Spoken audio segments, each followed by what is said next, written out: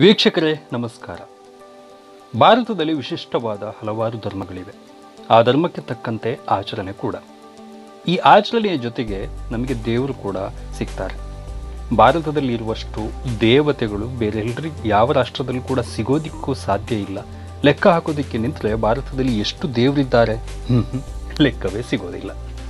ಇಂತಹ ಭಾರತದಲ್ಲಿ ಈಗ ವಿಶೇಷವಾದ ಧರ್ಮವೊಂದು ಹುಟ್ಕೊಂಡಿದೆ. ಆ ಧರ್ಮಕ್ಕೆ ಕೂಡ ಬೇರೆ ಬೇರೆ ದೇವರಿದ್ದಾರೆ. ಆ ಧರ್ಮ ಬೇರೆ ಯಾವುದೂ ಅಲ್ಲ ಕ್ರಿಕೆಟ್. ಈ ಕ್ರಿಕೆಟ್ ಬಗ್ಗೆ ಈಗ ಯಾಕೆ ಮಾತು ವಿಶೇಷ ಇದೆ? ಕ್ರಿಕೆಟ್ ಭಾರತದಲ್ಲಿ ಒಂದು ಧರ್ಮ. ಅದಕ್ಕೆ ಸಾಕಷ್ಟು ದೊಡ್ಡ ಸಂಖ್ಯೆಯಲ್ಲಿ ಕೋಟ್ಯಾನು ಕೋಟಿ ಭಕ್ತರಿದ್ದಾರೆ. ಆಚರಣೆಯನ್ನು ಮಾಡ್ತಾರೆ. ಅಲ್ಲಿರುವ ದೇವರು, ಕ್ರಿಕೆಟ್ ಆಟಗಾರರು ಎಲ್ಲರೂ ಕೂಡ, ಯಾರಿಗೆ ಯಾರು ಇಷ್ಟವೋ ಅವರೆಲ್ಲರೂ ಕೂಡ ಆ ಅಭಿಮಾನದ ಪರಾಕಾಷ್ಠೆಯಲ್ಲಿ ದೇವರು. ಒಬ್ಬ ಕೊಹ್ಲಿಯನ್ನ ದೇವರು ಅನ್ಬೋದು ಈಗಾಗಲೇ ಗೊತ್ತಿರುವ ಹಾಗೆ ಭಾರತದ ಕ್ರಿಕೆಟ್ ದೇವರು ಅಂದ ತಕ್ಷಣ ಎಲ್ರಿಗೂ ಕೂಡ ನೆನಪಾಗೋದು ಸಚಿನ್ ತೆಂಡೂಲ್ಕರ್. ಇನ್ನು ಅಭಿಮಾನಕ್ಕೆ ಹೋಲಿಕೆ ಮಾಡೋದಿದ್ರೆ ಯಾರಿಗೆ ಯಾರು ನೆಚ್ಚಿನ ಆಟಗಾರನೋ ಆತ ದೇವರು. ಇಲ್ಲಿ ಗಮನಿಸಬೇಕಾಗಿರೋದು, ಆ ಆಟಗಾರ ದೇವರು, ಧರ್ಮ ಅಂತ ನಾವು ಕರಿತಾ ಇದ್ದೀವಲ್ಲ ಭಾರತದಲ್ಲಿ ಸಾಕಷ್ಟು ದೊಡ್ಡ ಪ್ರಮಾಣದಲ್ಲಿ ಅದರ ಪ್ರಭಾವ ಇದೆ ಅಂತ ಅರ್ಥ. ಕ್ರಿಕೆಟ್ ದೊಡ್ಡ ಪ್ರಮಾಣದಲ್ಲಿ ಭಾರತದಲ್ಲಿ ಪ್ರಭಾವವನ್ನು ಬೀರ್ತಕ್ಕಂತಹ ಆಟ. ಬೇರೆ ಯಾವುದೇ ಆಟ, ಬೇರೆ ಯಾವುದೇ ಮನರಂಜನೆಯ ಸಿನಿಮಾ ಇರ್ಬೋದು ಅಥವಾ ಬೇರೆ ಬೇರೆ ಕ್ಷೇತ್ರ ಇರ್ಬೋದು ಅಥವಾ ಇನ್ನೊಂದು ಆಧ್ಯಾತ್ಮಿಕ ವಿಚಾರ ಇರ್ಬೋದು, ಇವ್ಯಾವೂ ಕೂಡ ಕ್ರಿಕೆಟ್ನಷ್ಟು ಪ್ರಭಾವವನ್ನು ಭಾರತದಲ್ಲಿ ಬೀರೋದಕ್ಕೆ ಸಾಧ್ಯ ಇಲ್ಲ ಅನ್ನೋದು ಸ್ಪಷ್ಟವಾಗಿ ಗೊತ್ತಿರುವಂತಹ ಸಂಗತಿ. ಈ ವಿಚಾರ ಯಾಕೆ ಈಗ ಪ್ರಸ್ತುತ ಅಂದರೆ, ಭಾರತದ ಧರ್ಮದಲ್ಲಿ ಸಿಗುವಂತಹ ಪ್ರಸಾದ ಇದೆಯಲ್ಲ, ಅದು ಕ್ರಿಕೆಟ್ ಧರ್ಮದಲ್ಲಿ ಸಿಗುವ ಪ್ರಸಾದ ಮಾತ್ರ ಚೀನಾದ್ದು. ಎಸ್ ನೀವು ಸಾಮಾನ್ಯವಾಗಿ ಕ್ರಿಕೆಟ್ ಆಟವನ್ನು ನೋಡಿರ್ತೀರ? ಆ ಸಂದರ್ಭದಲ್ಲಿ ಭಾರತೀಯ ಕ್ರಿಕೆಟ್ ಆಟಗಾರರು ಧರಿಸುವಂತಹ ಜೆರ್ಸಿಯನ್ನು ಗಮನಿಸಿ. ಆ ಜೆರ್ಸಿಯಲ್ಲಿ ಚೀನಾದ ಕಂಪನಿ ಒಪ್ಪೋನ ಜಾಹೀರಾತು ಕಂಡುಬರುತ್ತೆ. ಪ್ರಾಯೋಜಕರು ಅವರು ಅಂತ ಗೊತ್ತಾಗುತ್ತೆ. ಗಮನಿಸಬೇಕಾಗಿರೋದು ಒಂದು ಕ್ರಿಕೆಟ್ ಅಂತಕ್ಕಂಥದ್ದು ಭಾರತದಲ್ಲಿ ಸಾಕಷ್ಟು ಪ್ರಭಾವಶಾಲಿಯಾಗಿರುವಂತಹ ಸಂದರ್ಭ. ಅದರಲ್ಲಿ ಇರತಕ್ಕಂತಹ ಒಪ್ಪೋ ಚೀನಾದ ಒಂದು ಕಂಪನಿಯ ಜಾಹೀರಾತು ಇರುತ್ತೆ. ಕ್ರಿಕೆಟ್ ಅಭಿಮಾನಿ ದೇವರು ಅಂತ ಆರಾಧಿಸುವವರು.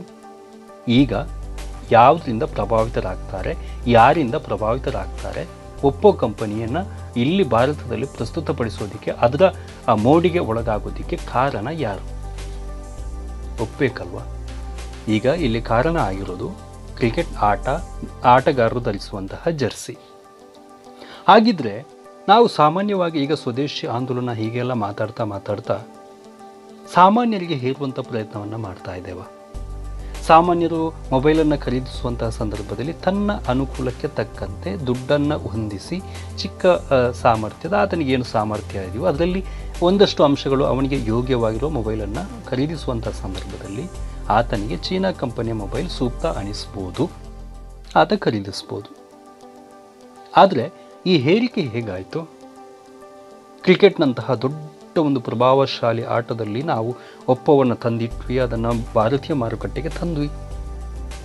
ಸರ್ಕಾರನೇ ಹೇಳುತ್ತೆ ಆತ್ಮ ನಿರ್ಭರ್ ಎಲ್ಲರೂ ಕೂಡ ಸ್ವತಂತ್ರವಾಗಿರಬೇಕು. ವಿದೇಶಿಯನ್ನ ಚೀನಾ ಈಗ ಬಾಯ್ಕಾಟ್ ಅಂತಕ್ಕಂಥ ದೊಡ್ಡ ಪ್ರಮಾಣದಲ್ಲಿ ಓಡಾಡ್ತಿದೆ. ಸರ್ಕಾರಕ್ಕೆ ಒಪ್ಪೋ ತಮ್ಮ ಸರ್ಕಾರದ ನಿಯಂತ್ರಣದಲ್ಲಿರುವ ಕ್ರಿಕೆಟ್ ಸಂಸ್ಥೆ. ಒಪ್ಪೋ ಜಾಹೀರಾತನ್ನು ಇಡೀ ಮನೆ ಮನೆಗೆ ತಲುಪಿಸಿದಂತಹ ಖ್ಯಾತಿ ಯಾರ್ದು? ಸರ್ಕಾರದೇ ತಾನೆ ಈಗ ಹೇಳ್ತೀರಾ, ಸಾಮಾನ್ಯರಿಗೆ ನೀವು ಅದನ್ನು ಖರೀದಿಸಬೇಡಿ ಅಂತ. ಈ ಅಂಶವನ್ನು ಯಾಕೆ ತರ್ತಾ ಇದ್ದೀವಿ ಅಂದರೆ, ಪ್ರತಿಯೊಂದು ಆರಂಭವೂ ಕೂಡ ಯಾವುದೋ ಒಂದು ಅಫೀಮಿಗೆ ಒಳಗಾಗುವಂತಹ ಯತ್ನ ಅಲ್ಲ. ಇಲ್ಲಿ ಗಮನಿಸಬೇಕಾಗಿರೋದು ಒಂದು ಸಂಸ್ಥೆ ಅಥವಾ ವಸ್ತು ನಮಗೆ ಏನೋ ತೊಂದರೆ ಆಗ್ತಾ ಇದೆ, ಆ ಸಂದರ್ಭದಲ್ಲಿ ನಾವು ನಿಯಂತ್ರಿಸೋದಕ್ಕೆ ಹೊರಡ್ತೀವಿ ಅಂದರೆ ಅದು ಸಾಮಾನ್ಯರಿಗೆ ಹೇರಿಕೆ ಆಗಬಾರ್ದು. ಮೂಲ ಎಲ್ಲಿಂದ ಬರ್ತಾ ಇದೆ ಅಲ್ಲಿಂದ ಕಟ್ ಮಾಡಿ. ಜಾಹೀರಾತುಗಳನ್ನು ಕ್ರಿಕೆಟ್ ಆಟದಲ್ಲಿ ನೀವು ಕೊಟ್ಟು ಎಲ್ಲ ಆಟಗಾರರಿಗೆ ಒಪ್ಪೋ ಅಂತ ಜರ್ಸಿಯನ್ನು ತೊಡಿಸಿ, ಅದನ್ನು ಅದನ್ನು ಖರೀದಿಸಬೇಡಿ ಅಂದರೆ ಅರ್ಥ ಏನ್ರಿ? ಶ್ರೀಮಂತರಿಗೆ ದುಡ್ಡು ಬೇಕು, ಸರ್ಕಾರಕ್ಕೆ ದುಡ್ಡು ಬೇಕು, ಅದು ಎಲ್ಲಿಂದ ಬೇಕಿದ್ರೂ ಆಗ್ಬೋದು. ಆದರೆ ಸಾಮಾನ್ಯ ಮಾತ್ರ ಖರೀದಿಸಬಾರ್ದು.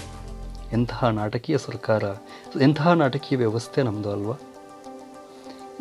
ಎಲ್ಲಿಂದ ಏನು ಬರುತ್ತೋ ಅದನ್ನು ನಿಯಂತ್ರಿಸಿ ಆ ಮೂಲಕ ಜನರಿಗೆ ಅರ್ಥ ಮಾಡುವಂಥ ಕೆಲಸವನ್ನು ಮಾಡಬೇಕೇ ಹೊರತು ಹೇರುವಂತಹ, ನೀವು ದುಡ್ಡು ಮಾಡಿಕೊಂಡು ಆರಾಮಾಗಿದ್ದು ಸಾಮಾನ್ಯ ಜನ ಯಾವುದೋ ಒಂದು ವಸ್ತುವನ್ನು ಖರೀದಿಸುವಂಥ ಸಂದರ್ಭದಲ್ಲಿ ಒಂದು ಭಾವುಕತೆಯನ್ನು ಸೃಷ್ಟಿಸಿ ಅವರನ್ನು ಸೋಲಿಸುವಂಥ ಪ್ರಯತ್ನ ಮಾಡುವ ಯಾವುದೇ ಸರ್ಕಾರ, ಯಾವುದೇ ದೇಶ ಉದ್ಧಾರ ಆಗೋದಕ್ಕೆ ಸಾಧ್ಯನೇ ಇಲ್ಲ.